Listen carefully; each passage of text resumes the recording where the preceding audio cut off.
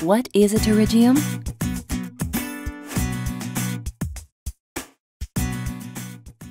A pterygium is a fleshy tissue that grows in a triangular shape, usually on the inner corner of the eye and covers part of the cornea.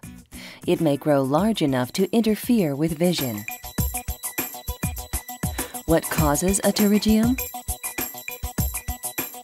The exact cause is not well understood. Long-term exposure to sunlight and chronic eye irritation from dry, dusty conditions seem to play an important role. Who is at risk of developing a pterygium?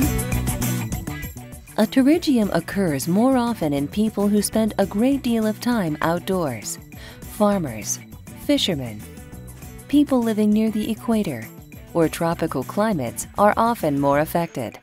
Individuals who engage in outdoor activities such as golfing, surfing, gardening, and skiing are also at greater risk.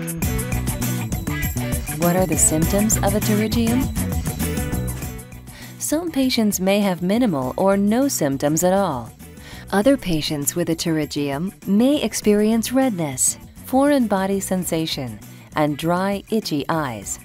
A large pterygium may cause scarring, resulting in corneal astigmatism and blurred vision. How can you diagnose a pterygium?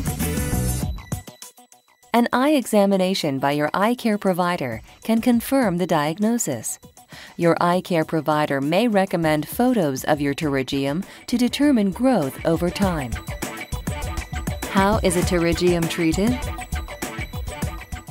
Most pterygia that are small can be followed without treatment. However, when a pterygium becomes red and irritated, eye drops or ointments may be prescribed by your eye care provider to improve redness and discomfort.